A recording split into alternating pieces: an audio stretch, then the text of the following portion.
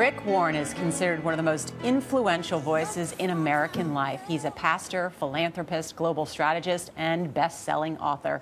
His signature book, The Purpose Driven Life, has sold 60 million copies, more than any other hardcover nonfiction book in U.S. history. It is now being re released on its 10th anniversary. Pastor Warren, Good morning and great to have you here. Good morning, Norah. Glad to be here. So, you talk about the purpose driven life. What on earth am I here for? We were yeah. joking that Charlie says that to me every morning. yeah.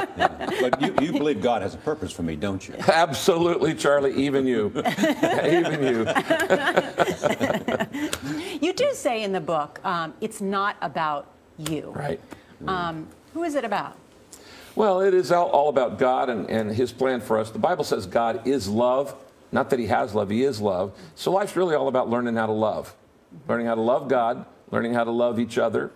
Um, you know, I'm uh, most uh, worried about this 20 something generation that uh, has, is right now without work.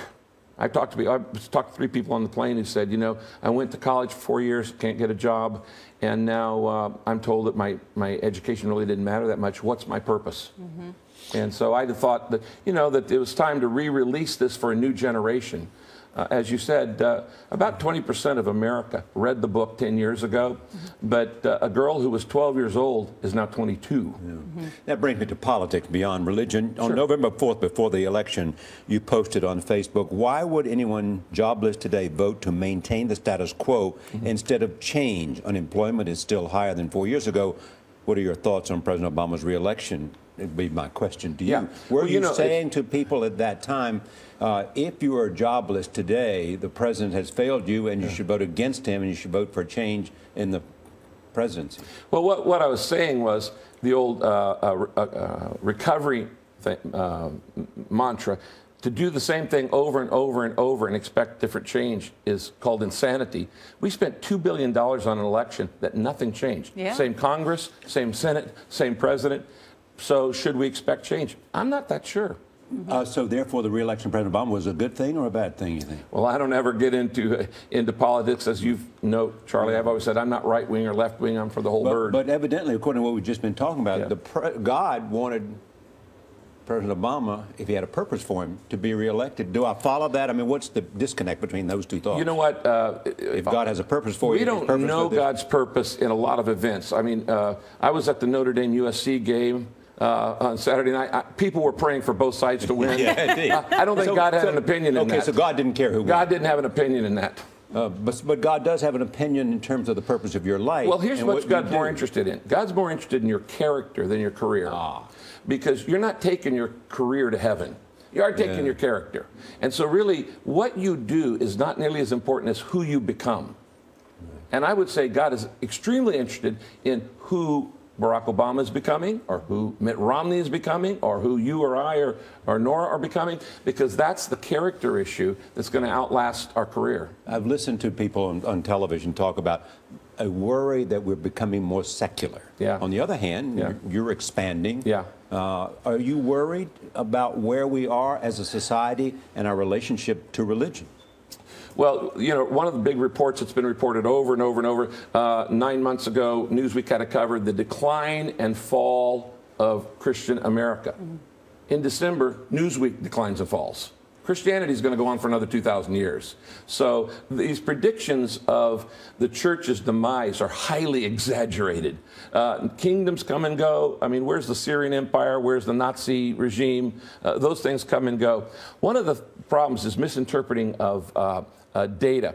Uh, there was a, a result that came out that said the number of Protestants in America, I think it was a Pew study, dropped precipitously. Well, of course it is. Nobody calls themselves a Protestant anymore. Mm. No Christian. I don't know a single person who calls himself a Protestant. I'm an evangelical. I'm a pro, uh, I'm a Catholic. Yourself? I'm an evangelical. Yeah. There are Pentecostals, there's charismatics, but no people don't use that term to be saying like the number of pilgrims have dropped precipitously in America. Well, nobody calls themselves a pilgrim anymore. Mm -hmm. So you can you can make a question say the wrong thing. But what? is church is church attendance down? Church attendance has stayed uh, uh, level since the 1950s. It's neither higher nor lower. This week, more people will go to church on one weekend than attend all professional sporting events in one year. Let's put that in perspective. More people will, will go to a synagogue, a, a, a, a cathedral, a temple, or a church on one weekend than go to all professional sports in an entire year. Mm-hmm. Why do you think faith is so important to so many people's uh, lives, not just in the United States, but obviously around Yeah. the world? And yet, religion also sometimes becomes the heart of so many problems around Well, the world many and, wars. and so yes, much absolutely. conflict. Well, there are a lot of things that uh, have been done in the name of God that God would disavow. Yeah. And I feel no responsibility to defend those things. Uh, what, uh, uh, what we need not is religion, but a relationship. A relationship to God.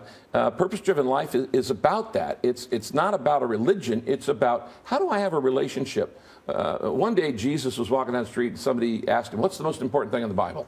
He says, Okay, I'm going to summarize the whole Bible in two sentences. This is it, Cliff Notes. Here on the whole Bible. Love God with all your heart, love your neighbor as yourself.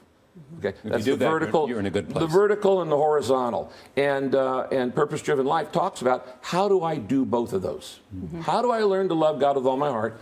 And how do I learn to love my neighbor as myself? Uh, Speaking of love thy neighbor as thyself, um, want to talk about gay marriage, same-sex marriage, civil unions. Um, someone tweeted when you were coming on, said, ask him about his opposition to same-sex marriage. Why do you oppose same-sex marriage? well, first, let me ask you um, do you consider yourself to be a tolerant person? I do. Yeah. Yeah. So you would, you would be respectful of people who would disagree with you no matter what. Agreed. Because that's a very, very personal question. And people want to make an incendiary issue over it. Uh, I just uh, ha- I have biblical views of what I think uh, marriage is about. I am fair in favor of not redefining marriage. I'm not. Uh, uh, it's not illegal to, to have a, a gay relationship in America. Uh, and so uh, it- it's not a big issue to me. It, let me ask you, it's interesting. Um, there's a pollster named Bill McInturff, a Republican pollster. He was John McCain's pollster. He's head of a big firm. His partner was Mitt Romney's pollster.